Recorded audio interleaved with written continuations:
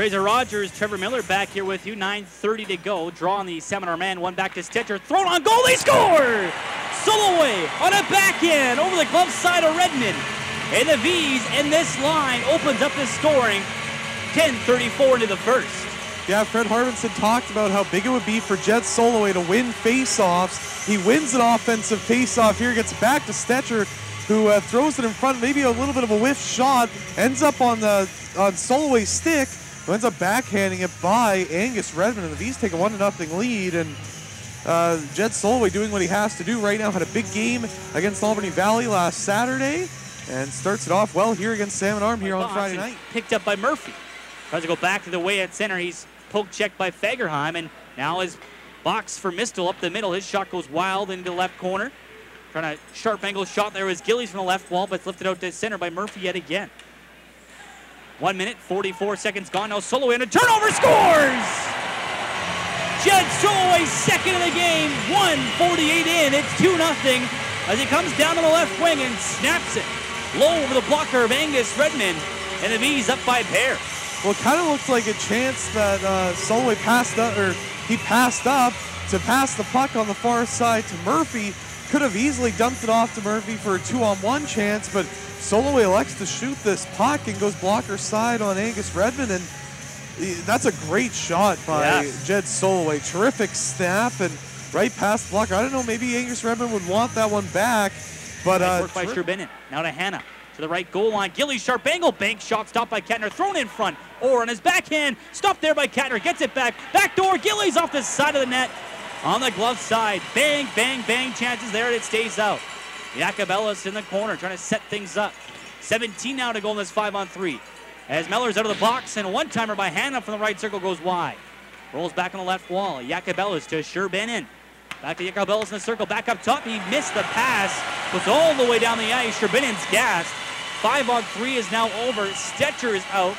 And a minute 19 to go in this Providence Finner home penalty kill as Murphy's in the box. And now it's dumped back in on the left side. And back in the Vees left corner from center ice by Mistel. And it's in skates as Nate trying to get this puck out. It's still in skates as in there is Mistel causing havoc. And now Bolson gets some help and it gets out to center ice with 58 to go in Murphy's penalty. I don't know why Stecher's not on the penalty box here. He's still standing in there even though his penalty has expired. He's arguing with the, the timeskeepers here. Meanwhile, Ferguson moving back in, takes a shot, he scores from the high slot. With 46 to go in the power play to Wade Murphy. It's now a 2-1 game and a long-range wrist shot by Mitch Ferguson, his first goal against his former team with 4.28 left. Yeah, I think Fred Harbinson's going to try and get an explanation as to why Troy what Stecher did not there? exit the box. And from the high slot, Ferguson got on the glove side of Katner. A little bit of traffic, but you can see Katner shake his head in disgust. He wanted that one back. Now a 2-1 game, a big power play goal. They almost blew it. Did Salmon Arm with all that 5 on 3 time, but Ferguson, a nice shot there from the uh, steep battle by Loverock and Lucena. Lucena is giving some shots to the back of the head of McClure, but he's not letting the puck go. 47 to go and counting. Puck still in the right corner. McClure knocked down, still on the wall. Seymour trying to tie up his man, but now it's dug loose. Hannah will go to center ice at the red line, bobbles the puck, throws it blindly across the blue line. Nietzsche up the middle, off the skate is Seymour and back in on left wing with 31 seconds left. Redmond can't get out of his goal. Now Seymour from the corner threw it in front. Comes back to man in the right circle. Doesn't shoot. Now throws it off the side of the goal. And he'll scamper back to his point position. 20 to go. Hannah at center on right wing. Coming in across the line is Orr. Shoots right pad save. Big rebound off the leg. Murphy trying to clear. Hannah comes across and keeps it in.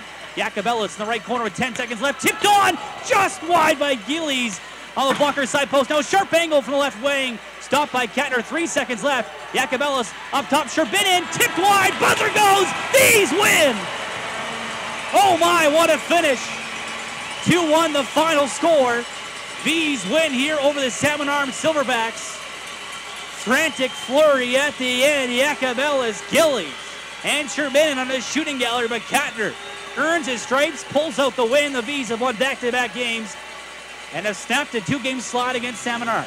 You have to give Salmon Arm so much credit at the end of that game for piling on in the last 20 seconds, absolutely putting everything on Chad Katner. And got to give credit to the Vees, though. In those 40 seconds, they were in Salmon Arm zone. John Seymour did a terrific job in tying up so many Salmon Arm defensemen along with Brad McClure, and a very good win for the Vees, and another one-goal game, and they bring it out here against Salmon Arm. Final score 2 1 for the Vees. Win number 33. They've won 9 to the last now 10 games.